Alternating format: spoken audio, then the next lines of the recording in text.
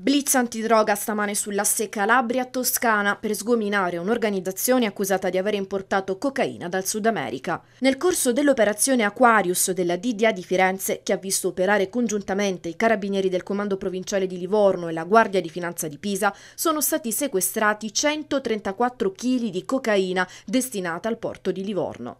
Le indagini hanno permesso di accertare che il livornese Riccardo Del Vivo si sarebbe posto al soldo del clan Piromali di Gioia Tauro, pagato mensilmente 20.000 euro per mettere a disposizione la propria organizzazione, composta da toscani, appena un nuovo carico di cocaina fosse entrato nel porto di Livorno. Il gruppo livornese, per conto dei calabresi, avrebbe quindi recuperato i carichi di droga dai container sbarcati a Livorno. Incontri fra il gruppo toscano dei pesci e gli emissari calabresi si sono tenuti anche nel cimitero cimitero dei lupi di Livorno.